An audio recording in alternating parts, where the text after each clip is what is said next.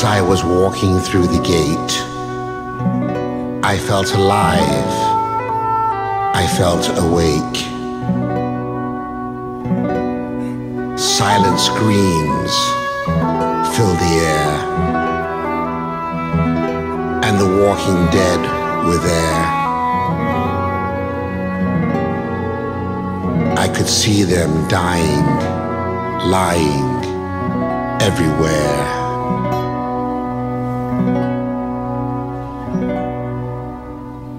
Sky was heavy, the sky was gray. The air was dense on that solemn day. I could smell fear, I could smell sorrow. They all had today, but no tomorrow as I was walking through the gate.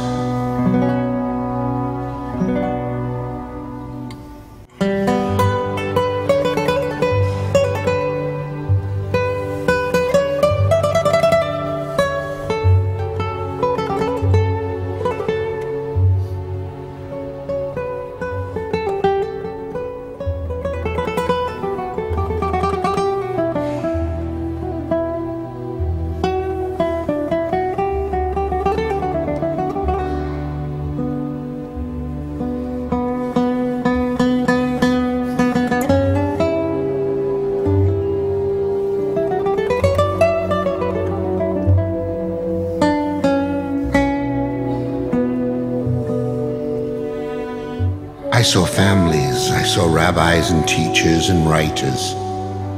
A child from Krakow, a Zeta from Gdansk. An unbroken fighter, a world of angst. A father, a mother, a sister, a brother, twins and orphans. I saw dignity broken. I heard prayers unspoken. I saw you and me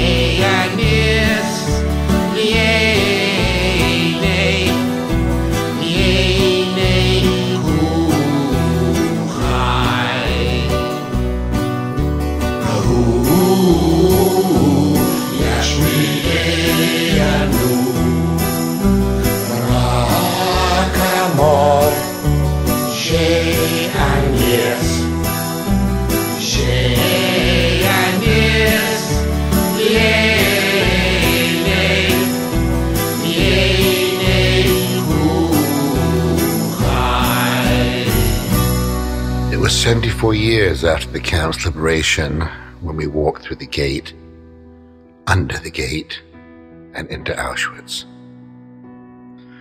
The misery was there if you looked, the screams were there if you listened. The blood and filth in the street, on the walls, and in the barracks were visible. Dead Auschwitz was alive with sadness, shame, and sorrow. Imagine, if you will, writing your name on a suitcase thinking you would retrieve it at some point down the line. Imagine, if you will, being hungry, always hungry, and never being able to sleep, although you were exhausted and weak. Imagine, if you will, suffocating in a train car, dead bodies under your feet. When you depart the boxcar, you feel whips Hear dogs barking and biting, Nazis screaming obscenities, spitting at you. Imagine, if you will, being dragged by a thug into a line with hundreds of petrified crying women and children. Imagine a concentration camp with dead and dying, anywhere, everywhere. Then imagine, if you will, walking down the stairs with an unending line of Jews into the abyss the Birkenauer gas chamber, scared, heart racing, lost, alone, powerless, like a sheep at the abattoir. This was a day in the life of a Jew in Auschwitz. Imagine, if you will. There's no parallel to Auschwitz in my life. The camp has been on my radar since a young lad. Then at the ripe age of 68 in April 2019, I find myself finally walking through the gate and into Konzentrationslager Auschwitz.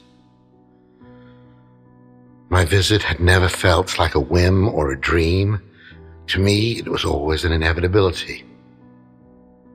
Why does this gruesome, dark, disturbing place, which tugs me into the heart of darkness, feel like a deja vu. I can't recall a time when Auschwitz did not feature as an appendage to my soul, even before I could spell its name or point to it on a map. It was relevant to my life. It was an important stop I had to make, a piece of the puzzle that required completion in this lifetime. The idea to create The Gate, the musical, arrived a full year after I had walked through the gate now, our family flew from Vienna to Krakow. We arrived at John Paul II International Airport in Krakow at 10 at night. Then we took a 40 minute drive through the city to a small Polish boutique hotel. The alarm rang at 4 a.m. We showered, feeling apprehensive, tense, tired, our nerves on edge. We were mostly silent. In the hotel lobby at 5:45 a.m., a sandwich, apple, and a small bottle of juice awaited, invitingly. Packed inside a brown bag like a school lunch when you're a kid, one bag for each person. no, there were no names on the bags. And then we depart for the camp in a small black van. It is 6 a.m. Lori, my wife, was hesitant, unsure if she wanted to go. Then, a last minute yes. My daughter and her husband, McCartney and Graham, are punctual as always and ready for the adventure. My daughter is the ultimate planner. She had booked the entire trip to Europe. We just showed up. Truly kind of her. Thank you, McCartney. Everything ran smooth like a Swiss watch. The drive from Krakow to Auschwitz took an hour. We drove parallel to the train tracks that run from Krakow to the camp. I'm not sure if these are the same train tracks, but I thought that they were the same train tracks, the ones used by Jews earlier in time. A disturbing and horrible connection. Reality is creeping in. I can see Auschwitz we're getting close.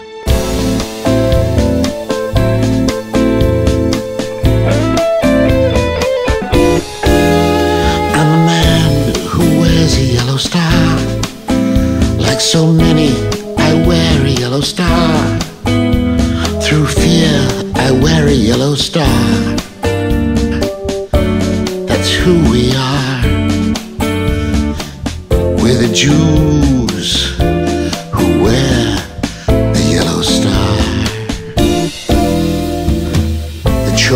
so weak they don't cry.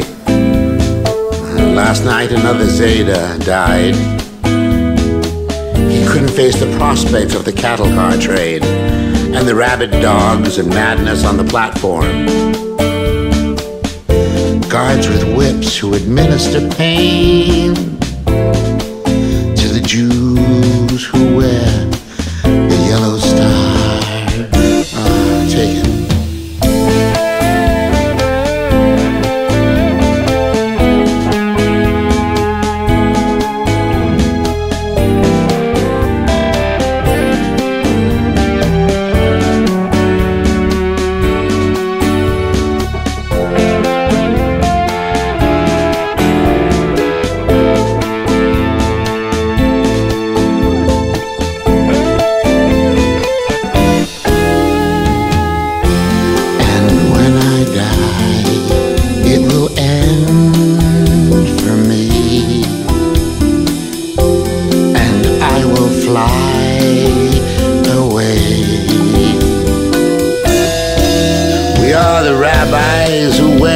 star.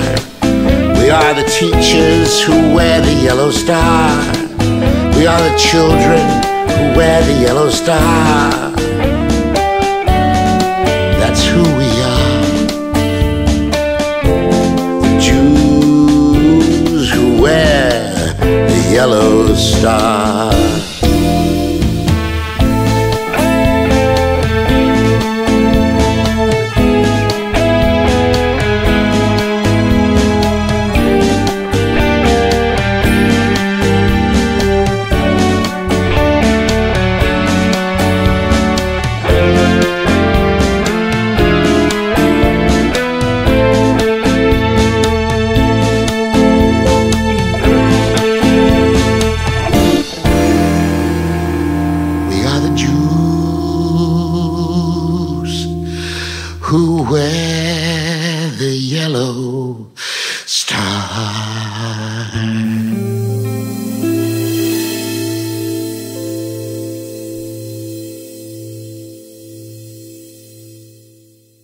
September 1941, the Reich mandated by decree that it was essential to illustrate and to indicate who were the Jews in the population. To this end, they ordered that all Warsaw Jews older than six, older than six, must wear the yellow Star of David with the word Judah inscribed on it separating and isolating the population. It had a second benefit to the Reich. The local population could ostracize and separate from the Jews too. It's the perfect Nazi group identifier. Another disgusting, degrading tool that was used in this bizarre Nazi world was given to the survivors of the brutal cattle car train transport that were not sent to the gas chamber but were violently herded onto the Auschwitz platform to be sent to the camp to begin work. The selection process door number one, if you have any energy and strength left, and you are dragged to the labor camp, or door number two, uh, you'll be taken from the platform to the belly of the beast, the waiting gas chamber. Sometimes you will march there Sometimes you were taken in trucks, depending on weather, depending how drunk the guards were, depending on what the guards wanted to do. Sometimes there was no selection. They were too lazy, too tired, too drunk, too sick. So everybody, everybody, everybody went to the chamber. Those not selected to die were gifted with an arm tattoo, each given an individual number, and they were no longer human. They were no longer a name. They were now a number. The inmate personal identifier. Identifying and isolating Jews was a crucial step in Hitler's final solution. They thought long and hard how to make this extermination smooth for them.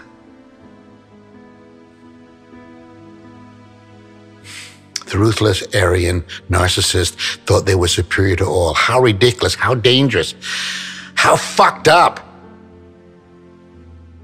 Such thinking plagues us to this very day.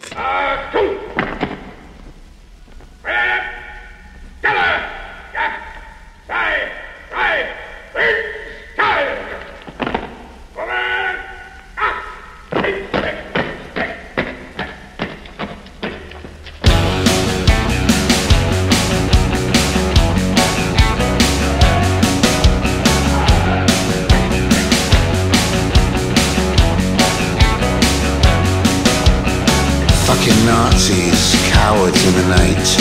Fucking Nazis always look for the easy fight. Fucking Nazis, they shout and scream.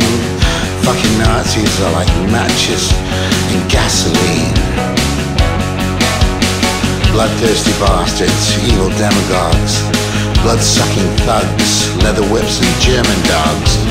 Brutal violence, no clothing, no food, no blankets, no shoes. Those fucking Nazis.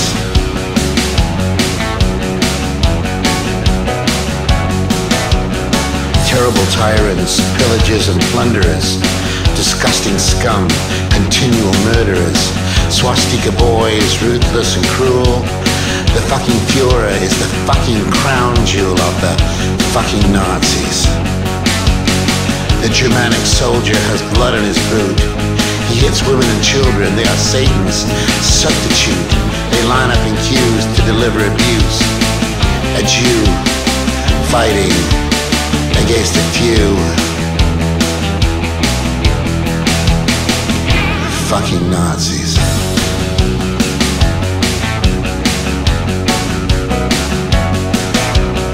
They took my mother. They killed my father. My brother hid, but I don't know where. We wear a yellow star. I walk in the gutter. Cause the fucking Nazis say, Jew boy,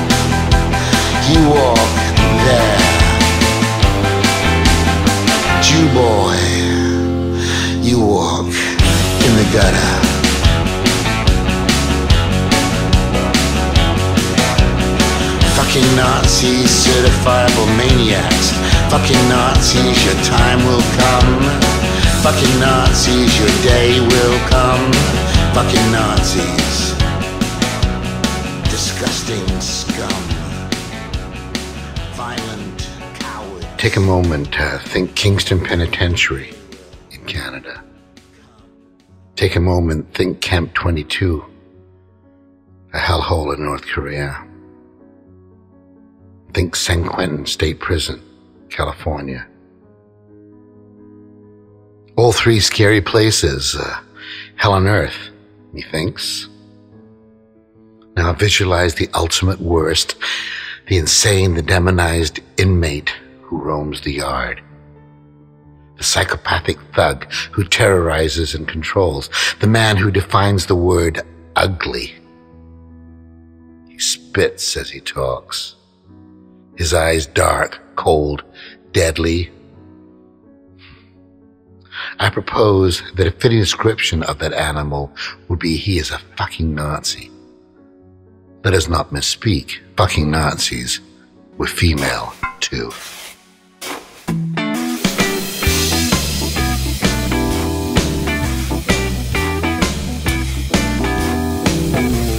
Talk, walk and run. Talk, walk and run. Lay down, sit up, stand. Talk, walk and run. Tongues are tied, stay alive. Do everything you're told to do.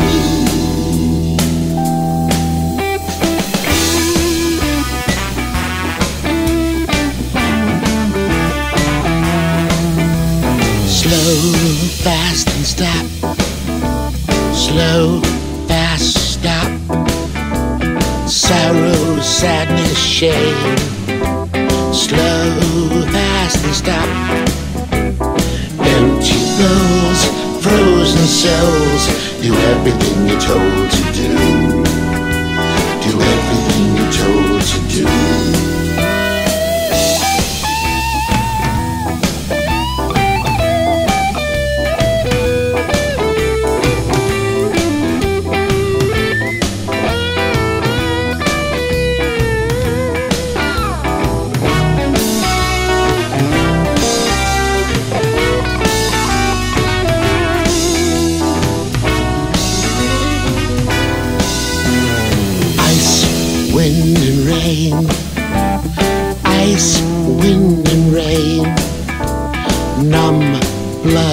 mud. Ice, wind and rain.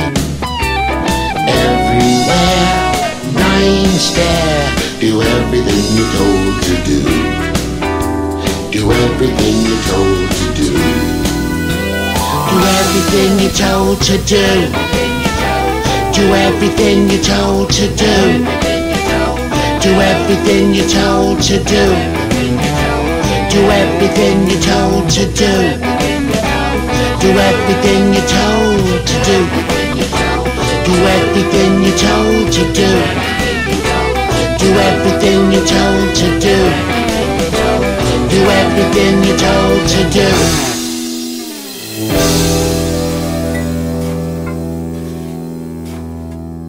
There's a parking lot, hundreds of cars, tour buses, bicycles, pedestrians mill around. The tour begins at 7:30 a.m. sharp. No dawdling. Your feet do not really stop for the next four hours. It's as if we were on a moving conveyor belt. Building to building, walking, listening, looking, thinking, feeling, imagining, dreaming. Time does not go slow. Time does not go fast. Time stands still. The driver introduced us to Bart, our guide. He's 33 years of age and he's been guiding his guests for over two years in this camp. Before that, he had two years of training, one year of border Auschwitz history, and one year of facts and figures and tales to use on the tour with the guests. The Auschwitz Museum holds strict standards for their professional guides. Few qualify. Eight hours a day they spend inside the barbed wire fence. Every day, Bart passed through the gate in and out every day that he worked. I wondered how is that possible? How does his mind absorb the energy in here so deeply? This is no ordinary place. Bart was dark. Bart was serious. Bart was kind. Bart was brilliant. Bart chose to spend his days working in the camp to spread awareness of what happened at Auschwitz because he too was motivated, like me, to spread the idea of never again. His grandparents perished there. He gave us the details. I guess there is the answer to the question I pondered. Why would someone work as a guide Auschwitz-Birkenau? Bart explained the rules slowly, clearly, with his Polish accent and his extremely competent ESL. We had booked a private family tour. He provided each of us with a headset. He asked us to stay close together and to keep moving. As we walked through the gate, Arbeit macht frei, which of course means work sets you free, the big lie. The overwhelming feeling I had, I remember, was I am here. This is really happening. Auschwitz is a holy shrine, a sacred piece of turf, a piece of the planet where hideous, unimaginable mistreatment occurred. My sisters and brothers were dragged here to their deaths. The misery was there if you looked. The screams were there if you listened. The blood and filth were on the streets, in the air, on the walls, in the cracks, in the gutters, in the barracks. Building after building, each had a detailed script. Hair behind glass, spectacles, galore, suitcases, lots of them. Brushes, combs, hundreds of mugshots of prisoners staring at me. Children frozen in fear as the Nazi camera clicked, clicked, clicked. One stop was Block 11, which was used by the Nazis for execution and torture, a special building. We got details of that building too. Between Block 10 and Block 11 stands the death wall, where thousands of prisoners were lined up for execution by firing squad. Arriving at the death wall, I took my only linger. I touched the wall, hand flushed, pushing deep into the brick. I stood silently in the middle and thought about the moment when thousands of Jews had stood in the same place, knowing a bullet was coming that would hurt. They would never see their family again. The Nazi aims, the Nazi shoots. Next. It was minute after minute of history like a dense food which had flavor and character. Auschwitz was all real, no filler, no space between the lines, just one long speech. The dead suffering and starving, invisible, yet always in sight. Bart's voice a continuous foundation of knowledge, providing intimate, accurate details about life in Auschwitz, about the guards, the capos, the Gestapo, SS, about the weather, the lack of food, the children. He explained how the SS used domination and terror to control the camp's large populations with just a few SS functionaries. The Germans had a system of prison guards, capos, Ukrainian soldiers, the Sonderkommando, all were key instruments in domination. The stories shared that day turned the stomach, hurt the heart. Finally, we arrived at the end of the first leg, onto Birkenauer. Between Auschwitz and Birkenauer, we had a 30 minute reprieve. We needed it. The four of us climbed aboard the van to escape the wind and the cold, opened our brown bags and began to eat the sandwich and the fruit and the juice box that was given by the hotel. How could we eat? Well, we did. All of us, I believe, emptied our bags we didn't talk much, except to ask how we all were, we were all the same. The drive uh, took uh, a few minutes, and we were in Birkenauer. Birkenauer was uh, bigger, perhaps more overwhelming in one way, but lack of detail made it a little easier. Eventually we arrived at the Judenrampe, where the Jews disembarked from the trains and where they were selected to either work or be gassed. It was horrendous standing in that spot knowing that hundreds of thousands of Jews had stood at that same spot waiting for some Nazi to decide Alongside it stood an original, not restored, cattle car, identical to the way it would have been in 1944.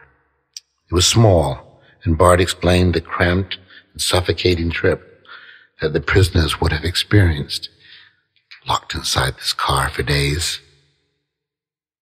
We all know how many died en route. Germans kept track. The tour of Birkenau was extensive and interesting on many, many levels. But I had become numb by now, and it was not an internal numbness, but an external quiet that took over. Overload? I'm not sure. We walked the large camp, Bart sharing facts, feelings, and tales about the prisoner's life. And finally, finally, finally, we arrived at the gas chambers folded, fallen, collapsed piles of bricks that were once Birkenauer's crowning jewel, the fucking gas chambers. This is where the Zyklon B was adopted for the mass killings at the camp. Up to 6,000 victims were gassed with Zyklon B each day. Chambers had been destroyed before the Russians arrived to liberate. I, I couldn't understand this. I asked Bart why, why they had waited so long to destroy the incriminating evidence. Why not destroy them weeks earlier and move the rocks and the bricks and the mortar and the evidence around the camp? But no, they didn't. They're just a pile of bricks now. And uh, scientists were able to rebuild them and know what the size of the rooms were and know the procedures. Bart, when asked this question, had a simple answer in his monotonic voice saying, the Nazis tried to murder as many Jews as possible before fleeing the oncoming liberators. Maniacs ran the asylum. and truth, is more horrid than fiction. He explained to us that there were usually four SS personnel per gas chamber, led by a non-commissioned officer who oversaw around 100 Jewish prisoners. These prisoners, or Sonderkommando, or kapos, were forced to assist in the extermination process. Every aspect of the extermination process. Hard to imagine what we will do to live. The actual delivery of the gas to the victims was always handled by the SS themselves. They were accomplished. And they were known as the Hygiene Division. They would drive the Zyklon B to the crematorium in an ambulance to mitigate fear of the population. And then they would empty the canister into the gas chamber through the holes in the roof, sprinkling down on the waiting Jews. Truth is stranger, more horrid than fiction. We spent two hours in Birkenau, and that too ended. Hug for Bart. He allowed a picture and told me that he appreciated our attention, our questions and interest, held my hand for a few seconds, looked me in the eye. We connected as kin, and he was gone. Bart never smiled.